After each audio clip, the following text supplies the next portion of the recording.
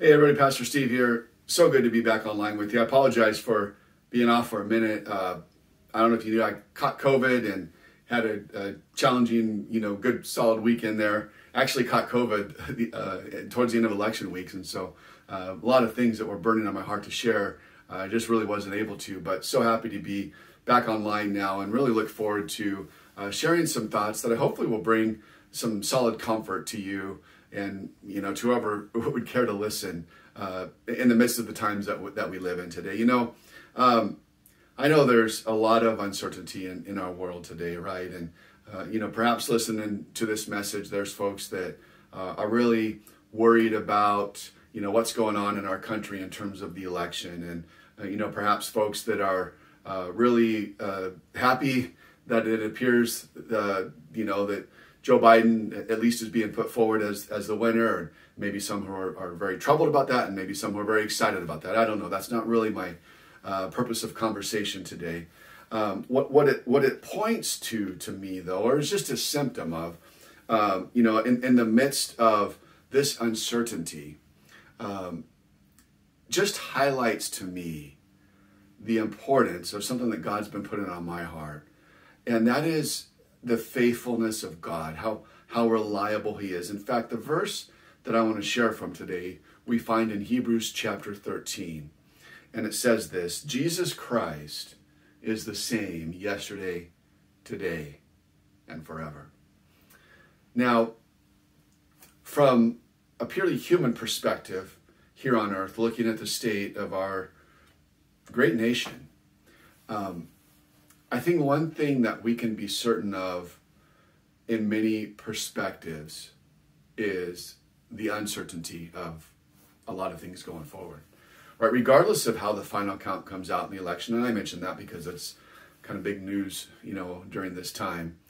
Regardless of the which way it goes, there's going to be a lot of unhappy people, and there's going to be a, a, a lot of people that don't trust it. I mean, that's that just is right. Um, I hope we get to the truth. I pray for the truth, uh, whatever that is, right? Because uh, we can accept it if we know that it's the truth. Um, but but regardless of which way it goes, there's going to be a lot of unhappy people, and, and that creates uncertainty in our nation.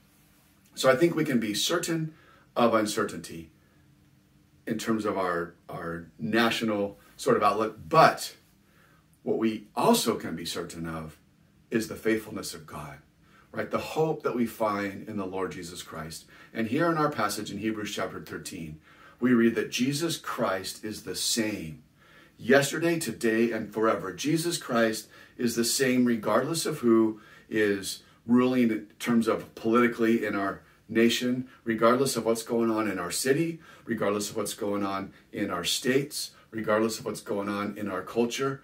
Jesus Christ is faithful and he's for you and he is on the throne. And that doesn't change no matter what. And it's interesting, um, in light of everything going on, what the next verse says here in Hebrews chapter 13, verse 9 says, Do not be led away by diverse and strange teachings, for it is good for the heart to be strengthened by grace. Isn't that radical?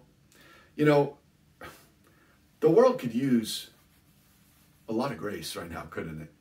I mean, it always could. I mean, we desperately, right, as believers, we know the world desperately needs the grace of God. But it's interesting here, after being reminded that Jesus Christ doesn't change, that he is the same yesterday, today, and forever, that we're reminded that it is good for our hearts to be strengthened by grace. I want to encourage you to rest today in the grace of God. Enjoy the Lord. God is in control. He is on the throne. You know, our, our joy, our hope, our certainty, even in the midst of uncertainty, our certainty is based on his faithfulness, and that never changes.